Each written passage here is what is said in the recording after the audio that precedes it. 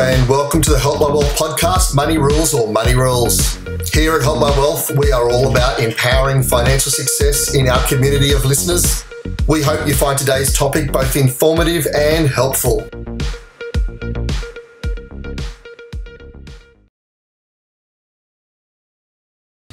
Hi, and welcome back to the Help My Wealth podcast, Money Rules, Money Rules. I'm your host, Stephen Logan, and with me always is Hamish Ferguson. Hamish, thank you for coming. You're welcome, Steve. Have you had a good week? It has. It's it's Good Friday tomorrow, so it's it's a short week, which is good in some ways, not so good in others. Just depends on who you're talking to. Absolutely. and with us today is our guest and Matthew Skehan. Thank you, Matthew, for joining us. You're welcome. How's your week been, Matthew? Uh, again, short but uh, very busy. I'm still uh, finalising emails before I head out the door for a week. well, Matthew is a licensed financial planner with over 22 years' experience in the financial planning industry. He started his career in Westpac Bank uh, for 14 years and then moved into your own practice, which is Elevate Finance in 2012. Yes. So, what made you um, come across that decision? Um, I think there was a natural progression for financial planners that were mm-hmm. doing a lot themselves and you know chasing business and um, after a lot of encouragement from my own clients um, to get out on my own, I decided to make the move after a while before I got too institutionalised in the bank. Yeah. And um, I haven't looked back since. Well, Matt has built his advice business uh, with around financial strategies, including wealth accumulation, self managed super funds, personal insurance advice, Centrelink, and retirement advice. Yes. And I do love the mantra that I heard you like, which is good advice is your best investment. Yes and you highly encourage people to invest in themselves. Absolutely. So, where did that sort of come from? Um, probably from our own careers. We're always learning and, and changing uh, directions um, for ourselves and for our clients. So, um, where our job is to empower clients to um, have more education about their um, their personal situation and how they can better themselves. Mm. Um, so the more education um, that we can have, or the more we invest into our own knowledge, then uh, the better off we're going to be in the long term. Yeah, yeah. I think it was that book, Seven Habits of Highly Effective People, that talked about the idea of sharpening your axe. Mm. You know, you can, you know, get into cutting down trees, but if your axe is blunt, yep. it's going to take you a lot longer to, to achieve it. You know, you sit down for 20 minutes and sharpen it up you know, get the education, get the right professionals in place, you yes. can actually do the job yep. a lot, a lot more effectively, a lot quicker. Yes, absolutely. Fantastic. So, Matt, I wanted to start today. I wanted to ask you, you know, being a financial planner, how has that helped you personally with your finances? I'm sure you get a lot of people assuming that as a financial planner, you should just be a, uh, you know, multi gazillionaire yeah. floating around on a boat somewhere. But uh, you not know, quite. Not quite. Not yet. um, I suppose for myself, I'm uh, I've always been a a goal oriented person. Mm. So I've always, if I wanted to achieve something, um, I've made sure that I I go out and get it um, as much as I can within my power. So um, working in the finance industry, uh, it took me a little bit to find my feet and, mm. and, you know how does finance work? How does it help me? What you know solutions are available for me? Um, but it allowed me to set goals for, for myself and my family to you know, pay off the home loan early, and we, we did that well ahead of time. Um, and that allowed me then to progress into running my own business and you know setting goals for that, and then for retirement as well. So um, you know, I, it, it's helped me you know in a number of ways in, in that regard to be very goal oriented, mm. which is what we're uh, trying to get our our customers to be. Mm. Mm. I, I find as well though that it creates misconceptions, doesn't it? Like it can, you know, again, like Steve was saying, that you know, it, it, there can be this assumption that, or if you're a financial advisor, you know all the top tips, you know, to, mm. to, to make this quick journey to success, and and also at home it can be an issue too, in the sense that, um, you know, finances from a family perspective mm. is quite often, um, you know, it's a family job. It's not just a personal job, isn't mm. it? So yeah. you've got to be able to get the team on board when Absolutely. it comes to the home. Yes. Um, how have you found that? Um, well, it's funny that when I'm talking to clients, and even you know talking to my wife, there's always one person who's more conservative, and they will let someone else take control of the finances in any sort of relationship. Um, and you know, because this is my job, my wife says, "Yeah, I trust you to do that job and do it well." yeah, that's your job. we don't lose the house. so um, yeah, so there there can be that challenge where a lot of people don't agree, and I can see that with my clients. You know, one wants to set up a self-managed super fund the other person isn't so keen because they all they see is the risks, whereas the other one sees all the benefits for it. Mm. And I think you know if I can take that one step further, sometimes um, you know you'll come across you know, and it could be us in our relationships, it could be someone else where they are given a lot more responsibility around money, mm. but by nature, then the other person can sometimes be at risk of not developing their own knowledge because they're assuming you're doing it. Right? Yes, so exactly right. and and that by nature, I think, ends up being the more conservative person because mm. they don't have that knowledge to to to decipher the processes we go through. Would you, would you agree with that? Yeah, yeah. yeah definitely. Um, so it, it really does need to be a joint process mm. to actually go on this journey, doesn't it? Yes. Like you know, husband and wife, whether you're a financial planner or not. Mm. Um, so yeah, you yeah. both have to have that buy-in and. Um, and then obviously educating your kids, that's a whole nother level of um, trauma in itself. I know with coaching, one of the things I always say is, look, you know, someone's always going to take the lead on different areas of your life. You know, be it the gardening, be it the cooking, be it the financial planning, whichever person it is in the relationship, it doesn't really matter. Mm. The other person still needs to be involved somewhat. You yes. know, so I always encourage people to sit down once a week, once a fortnight, get a cup of coffee, a cup of tea, and, and just go over the budget. You know, mm-hmm. have you actually achieved your budget this month? Is it what you wanted to achieve? And, and go from there. Yep. Yeah. The number of times I've said to a 14, 15, or 16 year old, and when you talk about budgeting or their first job or whatever, and you go, Do you realize people pay me for this information? you're, you're, getting free advice. You're getting, and you're ignoring it. And That's just ridiculous. Yes, yes. They just look at you and go, Sure, Dad what do you know? What do you know? I'm taking my eighty dollars that I earned and buying a jacket. That's crazy. So look, mate. One of the things I always like asking people in the financial industry is: mm. Has there been a truth that you've come across, or some truths that you've come across that you go, "That is really good advice." I don't tend to follow it myself. Mm. I wish I did. Do you know, like what's something that you go, if I've been doing that since I was 25, mm. this is the position I'd be in now if I went back to my 25 year old self and knew what I knew now, I'd probably make a lot more money because I'd yeah. probably take a lot more risks. Yeah. Um, so, yeah, I think taking risks is um, something that we need to do, but be mm. comfortable mm. and measured in taking those risks. Yeah. Uh, and that's what, you know, financial advice is about is looking at a strategy, looking at the alternatives mm. and coming up with the best way to go ahead with that. So, mm.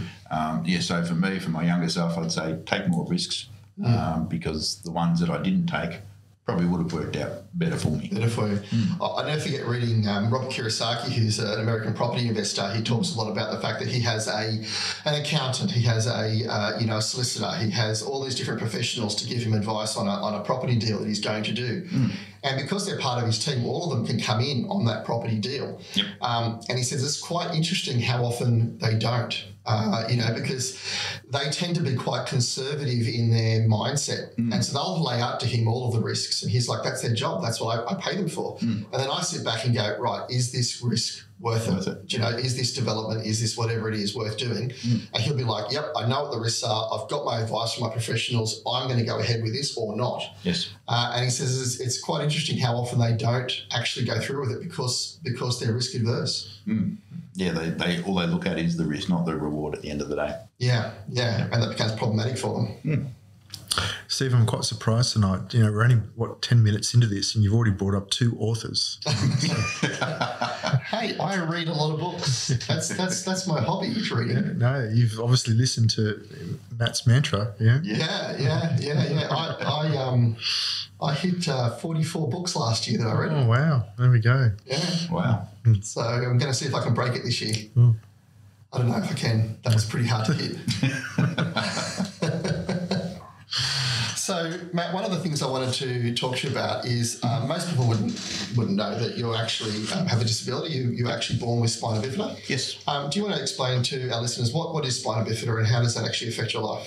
Uh, so, spina bifida is um, it's a, it's a condition that you don't see a lot of anymore. Um, but you know, when I was born, I was minted in the seventies, and uh, there was a, a, bit of it around because we didn't know the benefits of folate and those mm. type of things during pregnancy. But it's basically where the, the spinal cord doesn't form properly, so you your vertebrae don't close up around the spinal cord, and uh, you're left with paralysis. Depending on where that lesion is on your spine, it could be on your, you know, anywhere from your neck down to your tailbone. Uh, luckily, I was, you know, born on my L4 and 5 at the base of the spine. Um, so I can walk without crutches, but um, more comfortable with them because I'm you know, much quicker with them. Yeah. Um, and 40 plus years on, um, I'm pretty good with them. Yeah. So, um, and so it doesn't really restrict me too much. Yes, you have certain modifications like car handles and those type of things, but um, otherwise uh, it doesn't really affect me too much at all. And uh, looking back on your life now, I'm sure it was harder when you were a, a kid or a teenager. But did you think that actually made you more resilient? Absolutely, yeah. Yeah. Um, I mean, everyone goes through some form of um, you know, trauma or drama as kids. You know, bullying in schools and um, you know, people telling you that you you know you can't get involved in that activity because it might be too hard on you or, or whatever. Um, but I think that does make you more determined. To, mm. to do something, and I've always been that way. Where you know, if I've set myself a goal of doing something, I've made damn sure that I you know take that opportunity to do it because you only get one life. So Yeah, yeah, absolutely. And for yourself, when it when it came to like choosing a career and, and you know going where you're going, I mean, obviously you're not going to go right. I'm going to be a long distance runner. That's not going to be my career choice. Did, did it have a lot to actually do for you to say I'm going to go down finances, or not really for you? You sort of just didn't take it into consideration and went where you wanted to go. Um, I think originally when I was uh, younger, I used to watch a show called uh, Lifestyles of the Rich and Famous. Yes. And I remember there was a, a story on the Mirage Hotel Yes. by uh, Mr. Scaife Yes. back in the day. And um, I thought, yeah, I could really manage a, a nice resort like that. And uh, still to this day, I haven't been there, but uh, yeah, live the dream um, of, you know, I'd like to go and visit it one day, but not run it. But I actually went into you know finance just from you know getting a uh, as a graduate out of university. Yep. Um, I, took the opportunity to work in business banking, and then it morphed into the financial planning role. yeah. What was it like working in Westpac? It was a good training ground. Yeah. Um, because it was, uh, despite what the media says with the Royal Commission, um, it was very compliant based uh, when it came to giving advice. So we had audits every year, and there was, um, you know, some some fallout there. If you didn't do the right thing, then you got the rap across the, the knuckles. Um, so for me, that was a great training ground. Good sales skills. Um, so teaches you some personal skills to talk to clients. Um, so for me, it was it was uh, a good training ground for where I am today, uh, and it just gave me the confidence from there to get out and do it for myself. So, like with your story and, and where you've come from and, and what you've done, I, I know that you've been working with um, underprivileged people, particularly financially, uh, in the community. Please share with us a little bit about that. What, what have you been doing? Yeah, so I think, um, and it's probably something that there needs to be more of today because um, financial literacy um, isn't something that's really sort of spruiked in schools anymore. Um, so when I was in the bank, one of the community programs was um, getting into the schools um, and talking to year 10, 11 um, students and getting them to talk about finances. And I mean, I know when I was in primary school, we always had the the bank accounts, that, you know, the old passbook that we Yes. have a deposit in once a month for your, your pocket Yes. money. Um, and so that was my foray into you know, banking and that kind of thing um, when I was in primary school. But there doesn't seem to be an, a lot of it anymore. And just talking to my own daughter um, about finances, she's starting to work now um, and wanting to save for her first car and those type of things. So it's um, it, it it's something that I think is important. Um, we don't do a lot of it, um, and just based on what um, I'm seeing that they teach in high school, um, it falls short. So there are a lot of people that are falling behind financially when it comes to understanding how how does money work and how can it impact me if I get it wrong. Yeah, yeah. Well, I mean, Hamish and I, you know, we've, we've spoken before about that, that Hills survey that sort of showed that, uh, you know, the, the people under the age of 25 or under 30 are the, are the least financially literate in Australia. And we don't actually think it's because those people are stupid or silly or whatever else. It's because by the time you get to 50 or 60, you've actually learnt it through life. Absolutely. You know what I mean? And we have to actually change that around and go, well, hang on a second. In no other area of life do we say, right, you know, you can be an accountant. When you're 50, you'll know what you're doing. Just start working. Yep. You know, you've got to go to uni, you've got to go through it. You know, no one says to a doctor, just jump in, start Wing it. doing surgery, just wing it. By the time you're 60, you're going to be spot on. Yep. You know, you're going to know what you're doing. You know, whereas when it comes to finances, we tend to do that with our with our children, don't we? We say, hey, you'll learn. You'll pick it up as you go. Yeah, I think. I mean, look, and you know, the problem is when we're young, we don't tend to want to listen that much as well. So that that's a bit of a problem. um, but also, um, you know, what I'm seeing at the moment is this this culture change where we've gone from don't take on debt to you know 50 years ago to only take on good debt. Um, You know, 30 years ago to debt's okay doesn't really matter what sort of debt it is, but still have some money in the bank, mm. right? To now you don't even need money in the bank. You just go to, you know, payday lenders or mm. um, afterpay Zippay or things Afterpay or whatever, yeah, This exactly. culture of of how we what reserves we need to have up our sleeves has mm-hmm. has just changed over the years. And of course, we've got this marketing machine that keeps reinforcing this message, and and I think the kids just get swept up in that. You know, like it's it's it's really hard to teach a child mm. um, how how that is just not good. Mm. because everything's instantaneous now. Yeah, if we want advice or if we want a product, we can jump online, get your phone, and get access to it. Uh, and you can get access to any amount of money you want through personal lenders, and that's where people, if they don't have the right understanding and um, behaviours behind it, that's where they can get it wrong. Yeah, I look, my son just recently saw a saw a Ford Ranger, and he was like, "Oh, I love that car. That's amazing." I want it. I said, "Oh, look it up. How much is it?" He's like, "Oh, thirty five thousand base. You know, it goes up up from there. I'm sure it goes up exceptionally high from there." Well, I said to him, "You know, um, well, yeah, if you bought that, how much would it be worth? Like the next day, if you went to sell it?" He's like, oh, "I don't know.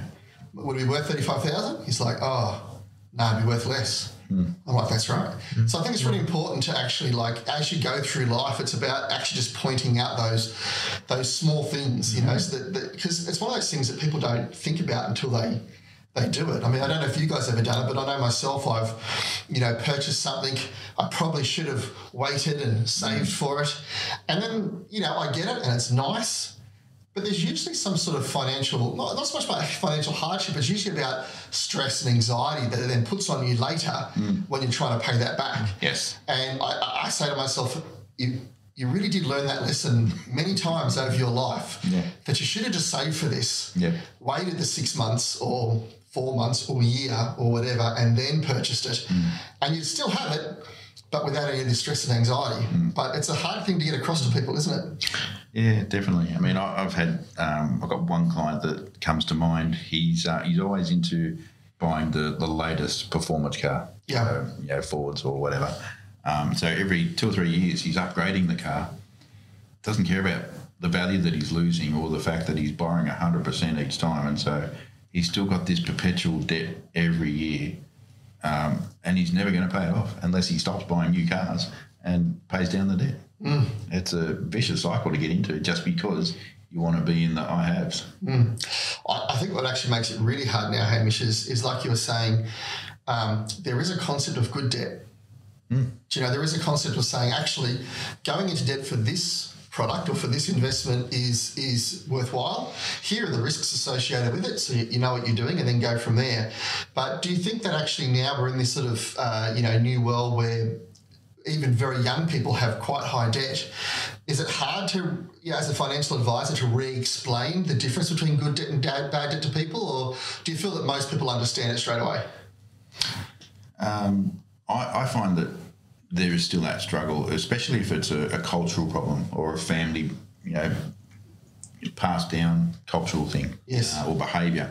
Because I, I know people where um, the, they've been 21, had a car, and they've had credit card debts, and the parents who have been bankrupt before have said, "Ah, just go bankrupt." Yeah. and it is the worst decision you could you can make. So um, I think there is that behavioural thing that we do learn from family or friends that can get us into trouble. Oh, absolutely. I just I do need to put a caveat in here that the time of this podcast mm-hmm. is the first time since they've invented the wheel that you can actually buy a car and sell it for a profit. Well, maybe 12 months ago. That's that's because there's been that you know that, that COVID lag of uh, cars being actually created and made. So there's just uh, you know not enough out there. I think the I think the used car market has never never been so good before, has it? Well, I mean, look, you know, I, I've got to be at risk of going off track here, but do you realise there's something like 60,000 cars at the time of us doing this that are off the coast of Port Kembla and Melbourne that can't get delivered? Really? Wow. So there's, so there's some problem with being able to um, fumigate the cars, right, as they come off because of either where they've come from and things like that. And so they can't get enough workers to actually bring the cars in, clean them up, and get them off to the dealership. So I was actually talking to a guy who's this used car sales manager or car sales manager this morning, and he was going, "Yeah, uh, how did you find out about that? Because we're not talking about it much, but yeah, no, no. When they sell the new car to you, they don't go.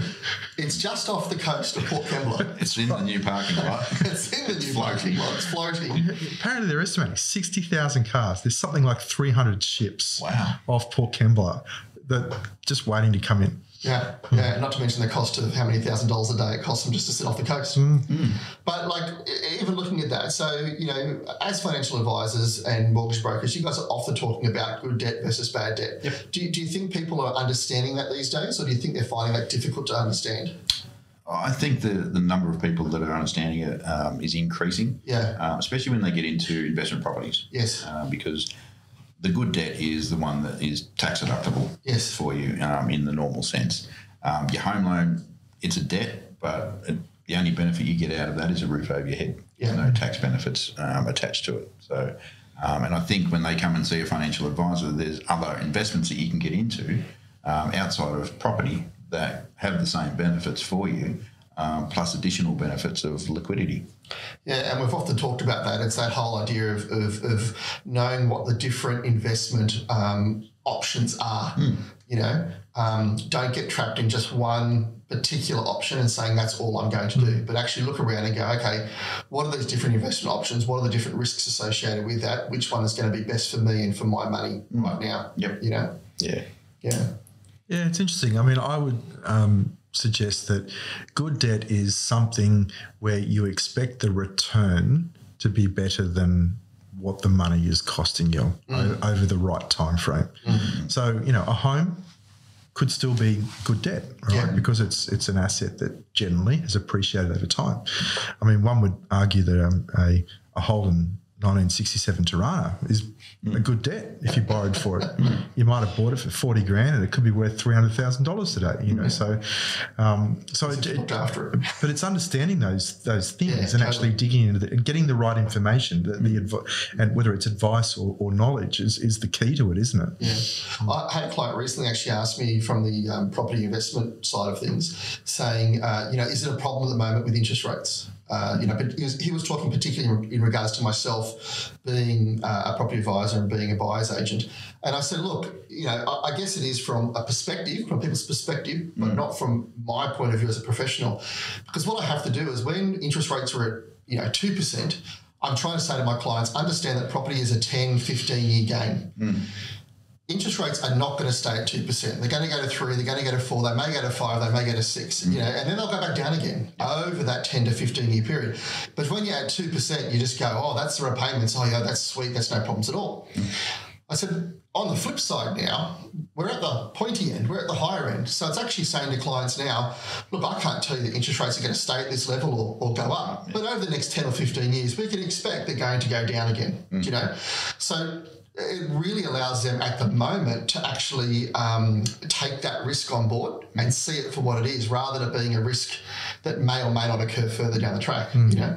It's interesting. I had a discussion with a friend of mine who's a um, general uh, lender for cars and so forth, um, and he was saying that you know five percent is actually still cheap money um, when you consider the long term. Because I remember back in two thousand and eight, interest rates got to eight and a half percent before the GFC crashed the, the market, and they went down to where they were at two percent. Um, but on average, long term, interest rates at five percent is still fairly good money. It's just unfortunate that the people in the last 15 years who have gone and bought a home, uh, the first homeowners or the property investors, have just seen the, the 2% interest rate and that thought that, yep, that's where it's going to be and we'll stay there. Yeah. Yeah. So that's where it's now coming unstuck for a lot of people, unfortunately. So, Hamish, you know, from your mortgage broking background, how, how are people actually handling that moment? Do you think a, a lot of people are going, no, no, I expected interest rates to go up, or are you, are you surprised by how many people just didn't expect to, you know, be in a situation where it might be at five percent or six percent?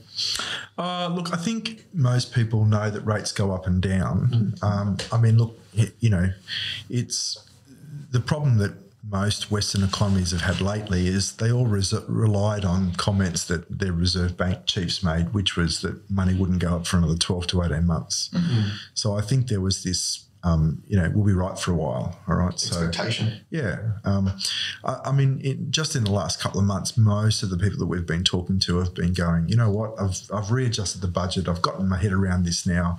Um, you know, I, I think I'm going to be okay.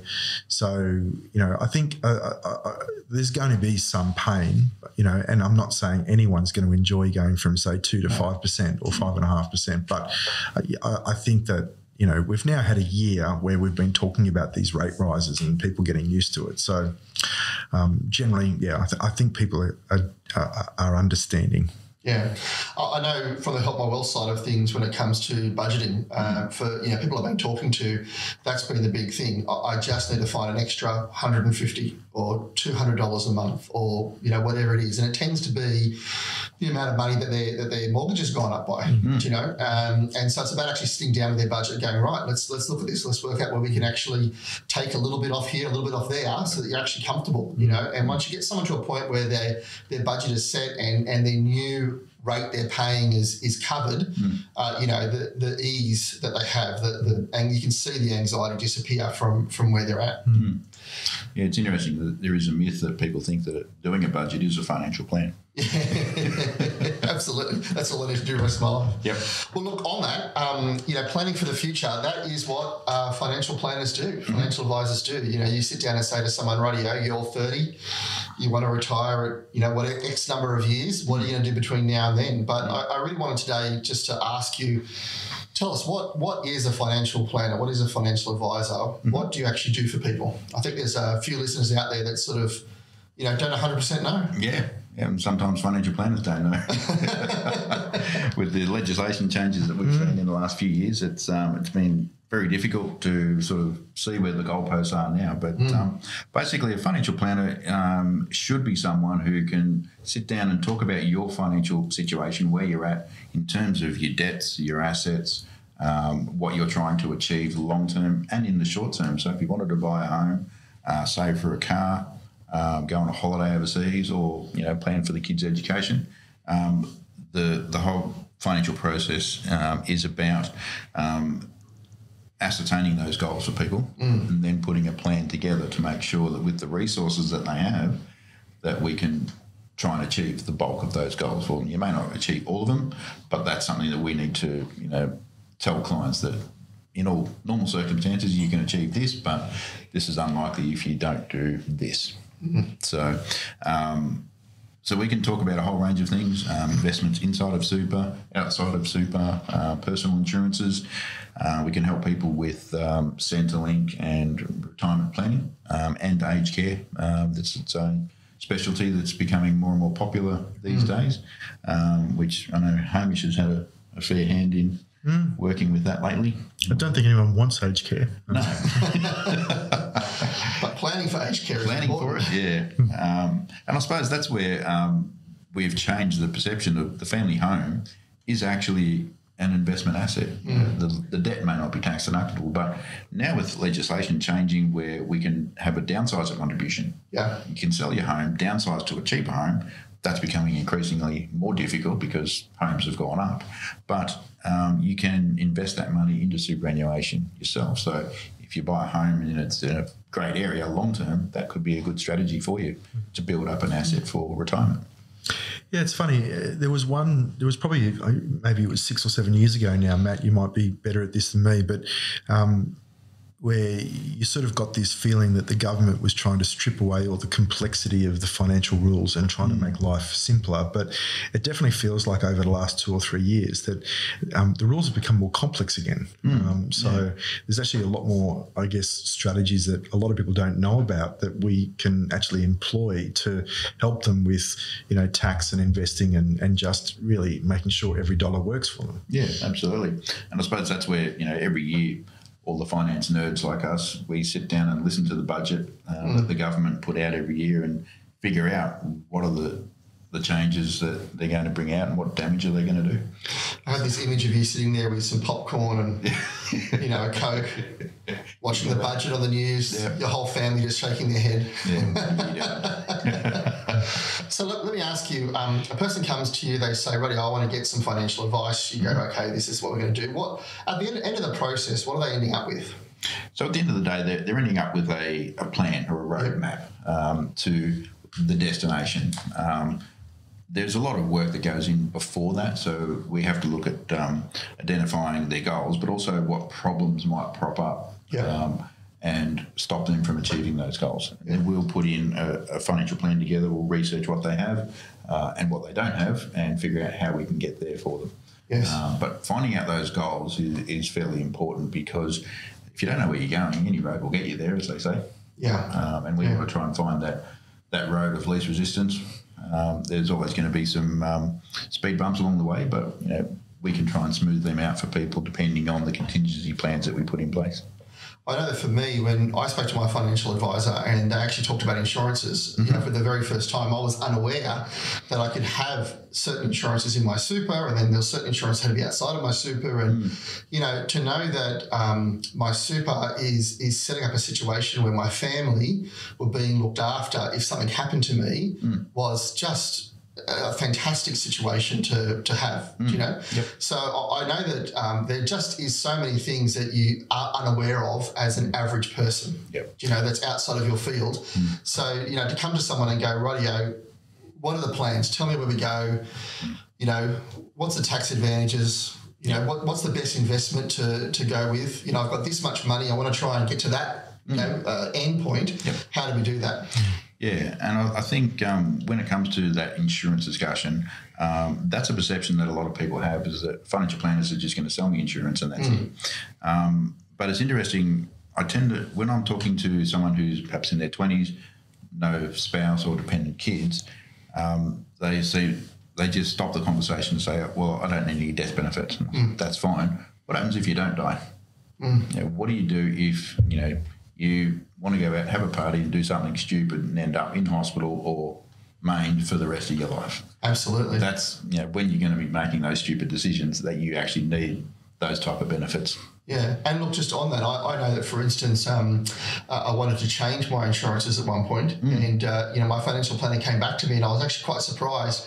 He was he was unable to do what I wanted because of the rules. Do you mm-hmm. know what I mean? And said, no, no, I can't change you unless I can prove that where I'm taking you is actually going to be Better. extraordinary, yeah, yeah, better of some degree, you know. And I'm mm-hmm. like, no, just do it. He's like, no, I can't, just do it.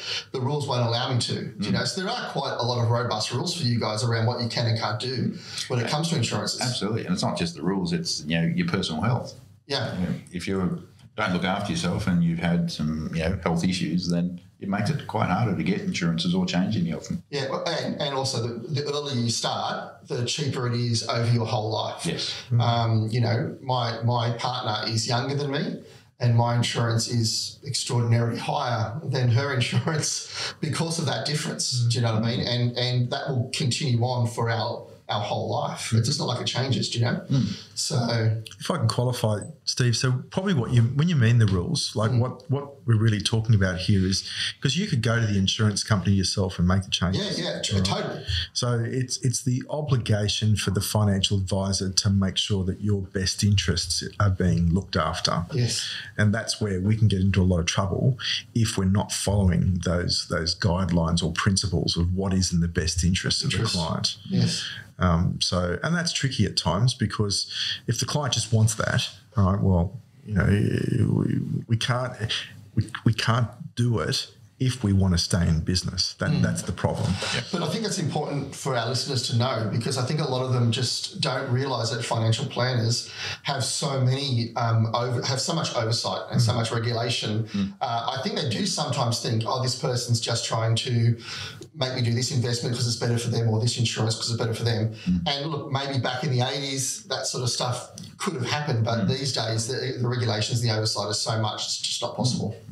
I mean, look, one of the classics we've come across, and I think you might have had this once or twice, Matt, is you know what got the banks into stri- strife during the Royal Commission was this concept of um, charging fees if somebody's passed away. Yeah. Right? So, but the problem becomes is let's say that person that's passed away has got a million dollars in super, and and it's in stuff that needs to be looked after. All right. So we're not talking about a passive investment. We're talking about direct shares or something that's quite active.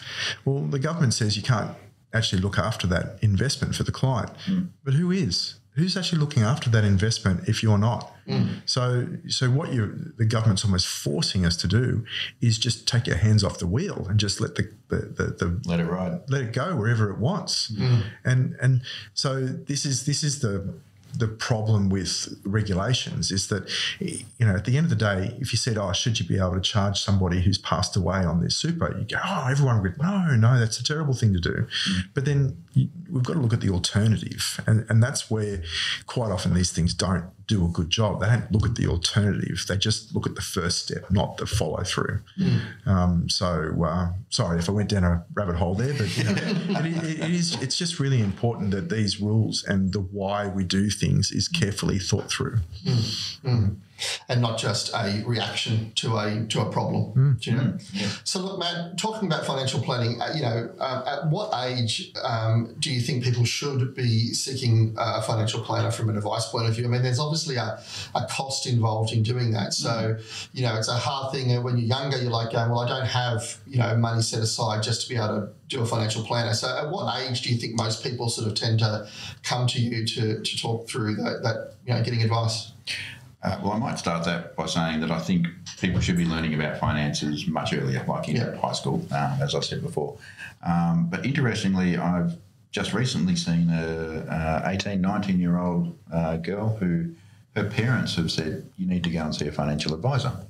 And so they've paid for that one hour meeting to come and have a chat and sort out what she wants to do. Um, and you know, we didn't do a financial plan for her, but during that hour, she got a heap of information and um, some context around why she should be setting goals to, you know, save for that home or the car or whatever else it is that she's wanting to do. Um, so I think, you know, as early as you can, and she'd started a career in um, assistant in nursing, so um, they're starting to make money and they need to start making good decisions about it from the get go. So as early as you can, try and speak to someone about financial advice, and that's where the Help My Wealth can really help those younger people. So the help my wealth is good, but tell us a little bit more about that that sort of meeting that you had with the client. So obviously you didn't do an advi- document, so so you weren't really giving her advice. No, but it's just talking about the general uh, structures of you know investing into super and investing into your own name.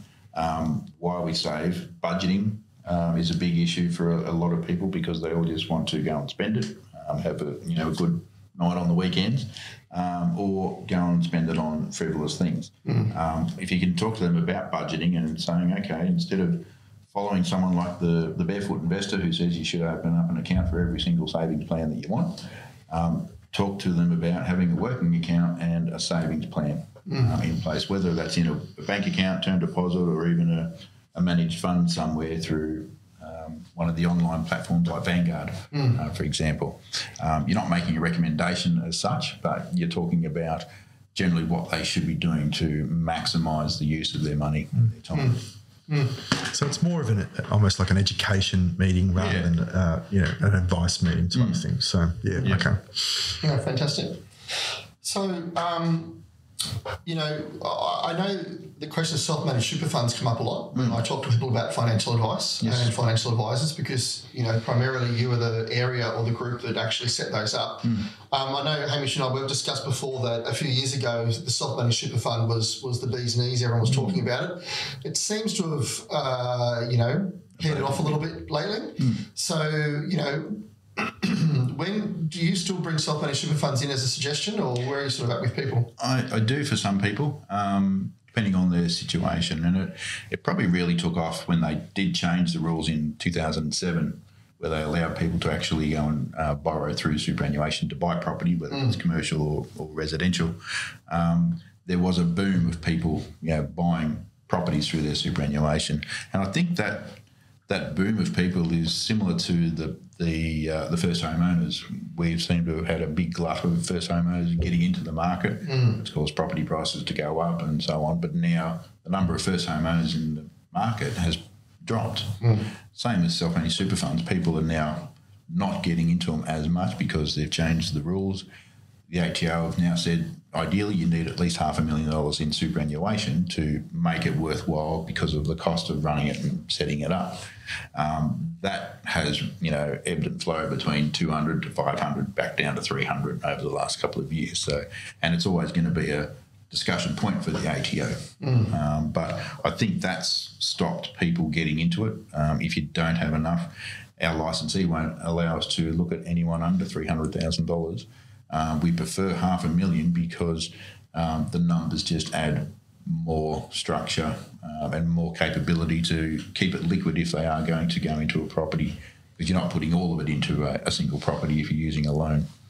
So um, I think that's the reason it's probably changed uh, so that not a lot of people are, using it. But for someone who's self-employed um, and running a business, I would say, yeah, there is a strong case to use commercial property um, to own your, your super fund um, and have the business pay the rent to your super fund for it. And um, I, I noticed also that you have um, uh, accreditation in regards to Centrelink and retirement and that sort of thing. I think that's something that people don't tend to think about when it comes to financial advisors. So, Yep. what does that model sort of mean now as we, especially as the baby boomers are getting older? Uh, you know, they're very much heading into that um, aged care sort of area. Um, so, Centrelink, retirement, aged care is becoming bigger and bigger for, for you guys. Um, how is that actually, you know, working out? I think, I think with Centrelink, if you asked anyone whether they like dealing with them, no one would say, "Yeah, I love it." Um, so, but I think that because they do change so much, and the media have put out a false message to the public about retirement, so mm. many people still think that they have to retire at sixty-seven, mm. and that's rubbish. Sixty-seven is the age that we have to get to to be able to receive the age pension. Mm. If you want to retire early, go, you know, fill your boots. It's the strategies behind that that can help you retire early. So you can access super at 60. Um, if you've got other assets behind you, you can retire before 60 if you want to. Um, but it's just that message that, you know, Centrelink have said you have to be 67 to retire. There's a whole range of strategies around that. There are income streams that we can invest people's money into, give them the surety of a, an income stream for the rest of their life. That reduces their assessment um, for Centrelink purposes and can enhance the the age pension benefit that they get. Um, so that market is changing quite rapidly in the last couple of years. So. Um, so that's where we need to be, uh, you know, on top of those kind of strategies. And then aged care is a whole new beast in itself. Uh, they're they're always changing the the field there, and Hamish probably has a bit more exposure to that that case. Yeah, look, it, I think the hard thing with both Centrelink and aged care is about just getting your expectations right. Like I said to somebody the other day, people Centrelink, Centrelink, it doesn't really change. All right. So the problem is we go in and start talking to Centrelink as if they're an organisation that will have great customer service. All right. So, and they're just not manned to do that. You know, they're, they're they're they're manned to um, to solve problems eventually. Um, so if you go in there wanting something to be fixed tomorrow, well, you are going to be disappointed. All right. So, but if you go in there saying it, it'll get sorted out eventually, then it'll be okay. Aged care, unfortunately, is a similar thing. You know, the, the person that needs aged care tomorrow, it's quite tricky, right? because it's just not currently staffed or, or funded in a way that allows them to deal with these things. Not off the shelf. No, I mean to get um, you know for the listeners, they might not understand this, but so you know one of the first steps with aged care is what's called an ACAT assessment, which is basically where you can find out whether you can get help at home, you know, cleaning, cooking, um, get driving to the shops and that sort of thing. Um, but it can be a 12 to 18 month process to get approved. Um, so I had a a gentleman in the other day, sprightly age of I think 83, 84, and um, he said to me, oh, I, I, "You know, I want to be organised because I've heard this is this is a bit of a process." So we started filling out all the forms, and and he was like, oh, "Do you want help around the house?" No. Uh, do you want help cooking? No. Do you need help to shops? No. Okay, right. Let's change this. We're not really answering the questions for today. We're answering the questions for 18 months' time because you're trying to be organised. All right. So so there was this discussion then to, that basically said, well, you know, unfortunately the questions are even answered as if you need the care tomorrow. Mm. All right. But they're not going to deliver on it tomorrow. No. So it's it's just helping people navigate that is is quite tricky. Um, and you know, let's be honest, as we get older, we don't cope with change and things um, as easily, and so it's it's a harder process. So it's it's all around the wrong way. All right. So, yeah, sorry, long winded answer. But essentially, we're here to try and just smooth that out and say, this is what you can expect. This is how it's going to work. This is what the funding looks like. This is how we make sure you don't run out of money and so on. And look, I, I think that's that's a huge area that people are unaware that you do. Uh, I have older people in my life, and that is a fear for them. Uh, what's going to happen if I need to go to a retirement home, Absolutely. you know, or to a nursing home? Uh, how is that going to be funded? You know, how's that going to happen? Um, you know, to actually start that process of going right. This is what we do. This is how it's going to look, uh, and go from there. It's, it's it's really important to put those things in place early, early, and not just leave it till you're 85 and then go. I, I need it tomorrow. Yeah, I mean, my parents are going through that exact same thing at the moment. Um, Dad's, um, yeah, got dementia and a few other bits and pieces, and mobility means that he's, you know, at home most of the time, but mum's looking after him. Um, and then they've got to go through the ACAT assessment, so they've had the assessment, trying to organise the services for people to come out to do the cleaning, um, help them around with showering and that kind of stuff. Takes a long time, like and, weeks. it, and it's political. Like Yeah. ap- apparently, locally here at the moment, there's one um, organisation that has approval for funding but no staff, and there's another organisation that has staff but no funding. Oh, look, it's as simple as, uh, you know, I know an older person who wanted to get someone to mow their lawn and they had it through the ACAT assessment that they could actually do that. Couldn't find someone, couldn't find someone to do it, you know. So you've got to actually, you know, get that in early, get it set up, and then and then have it done regularly, and then go from there. Yep. You know. But look, what I'm hearing, um, and what's been really good to talk to you about, is that from a financial planning perspective, whether you are, you know, 25 years old and it's a conversation of, okay, what are we going to do over a very long period of time, you know, to get your plan in place? Uh, whether you're, you know, at the other end of the scale and you're, you know, in your 80s and you're going, I'm worried about where I'm about to head when it comes to, um, you know, aged care and so forth, that uh, you guys look after that whole age spectrum, really. yes, Yeah. And I think most people are unaware of that. You know, they, they sort of don't see that how much you do within that industry. Mm. Mm. yeah, and it changes constantly. Yeah. So yeah. you always have to be looking at you know, what's changed today. Yeah. And, and I would say it's probably one of the most highly regulated industries that we have, probably. Mm. You know? I, I wouldn't be surprised if it is the, most. Yeah. I mean, I think there's, you know, uh, talking to doctors, I think there is some things that we have more controls over what we can do than what doctors do. Yeah. Right. So, which is, you know, and I sometimes say to people, think of a financial advisor a little bit like a GP, hmm. right? So we're not a specialist, all right? So, but we have to know almost every part of the body, all right? So, but then if something becomes really highly specialized that we need to refer you on to, then we do that. Yeah. Right. So, And, and you know who to refer them on to and hmm. who's that best person in that area. Yeah. Fantastic. Well, it's been absolutely fantastic catching up with you today, uh, Matt. I've really appreciated you coming and explaining the financial planning industry and that idea of um, you know making a plan for your future. Uh, we do ask everyone that comes on here uh, what advice you'd give to your 18 year old self. Now you've half answered that earlier on. You said you, you'd be more risky, but other than that, is there anything else that you would uh, you would run with?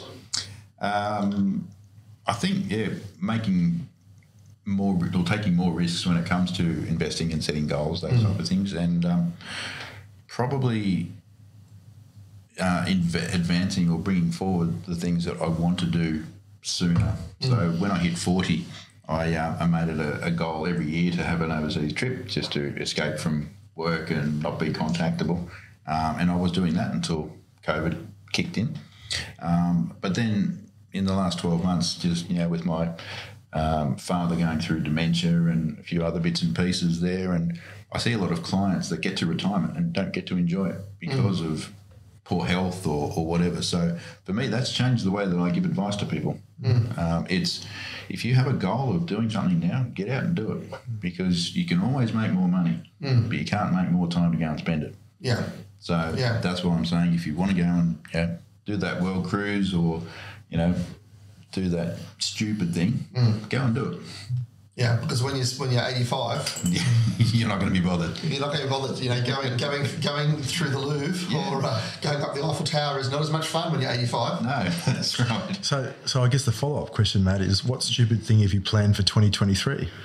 Well, I'm 50 next year, so I'm planning a big trip next year. But for 23, um, I've just gone and bought myself a a, uh, a toy car that yep. I've wanted for 30 years, actually. Yep. Um, so I just thought, no, nah, no point being the richest corpse in the graveyard. So I've just found a car that I've wanted and uh, gone and bought it and have a bit of fun with it. Fantastic. Now, look, the other question we ask all of our guests is if you're going to write a book, mm-hmm. what would its title be? What would it be about? Well, obviously, it's going to be about the journey that I've had, but yeah. um, the journey's not done yet, so that's probably the title. the journey's not, not done yet. Not done yet. Not done yet. yeah, that's a hard question, actually. Um, there's plenty of different titles I could use, but um, yeah, as I said, maybe you can start a series. Yeah.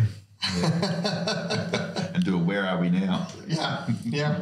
How about you, Hamish? Have you you thought through your uh, your book title yet?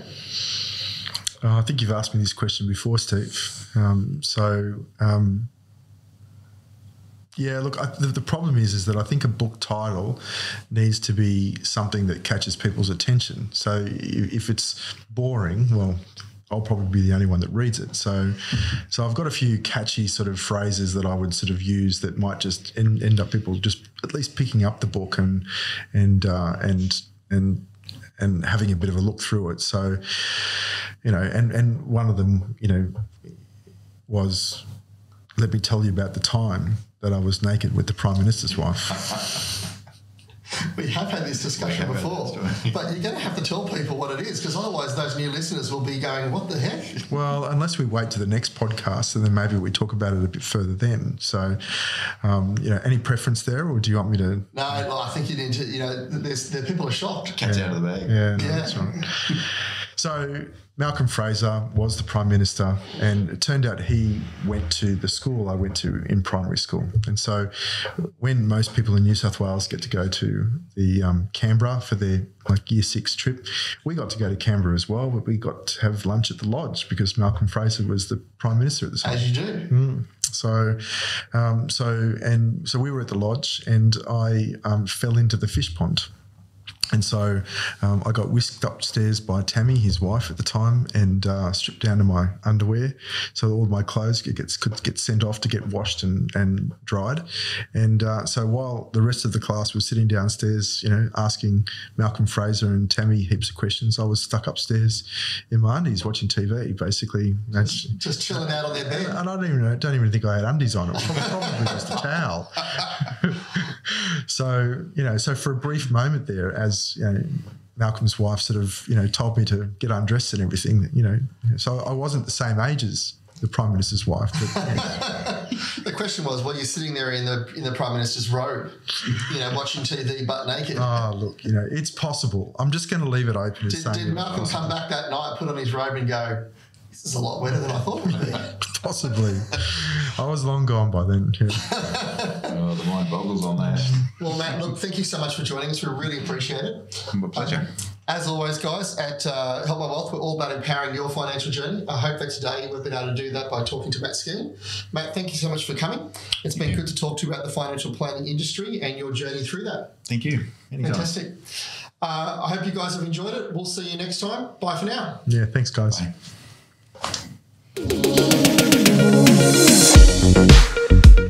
The information discussed by the Help My Wealth and the Money Rules Money Rules podcast is for education and entertainment purposes only and is generally nature and it is not advice. It is not intended as a substitute for professional finance, legal, or tax advice. It is aimed to provide a general understanding of each topic and should not be relied upon to make an investment or financial decision.